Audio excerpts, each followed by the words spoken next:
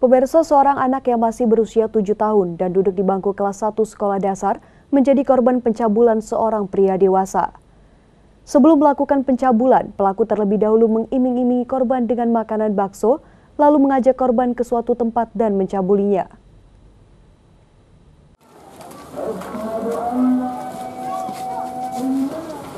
Inilah SD 48 tahun warga Kecamatan Torgamba Kabupaten Labuan Batu Selatan Terduga pelaku pencabulan terhadap seorang anak yang masih berusia tujuh tahun, warga kecamatan Kota Pinang.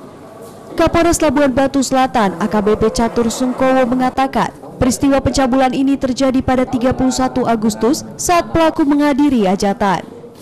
Kemudian pelaku melihat korban sedang bermain dan mendekatinya sambil menawarkan makanan berupa bakso. Pelaku lalu mengajak korban ke suatu tempat dan melakukan aksi bejatnya. Peristiwa ini terungkap usai korban menceritakan kejadian yang dialaminya kepada orang tuanya.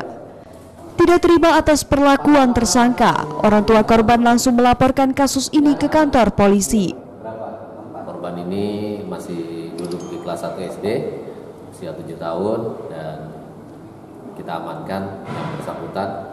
Saat ini sudah proses sidik dan ditahan di Polres Labuan Batu Selatan.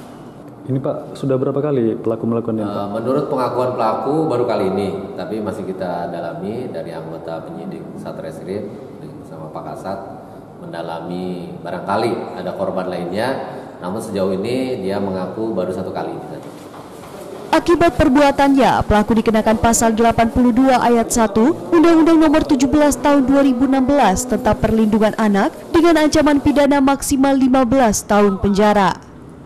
Dari Labuan Batu Selatan, Randy Kurniawan, iNews melaporkan.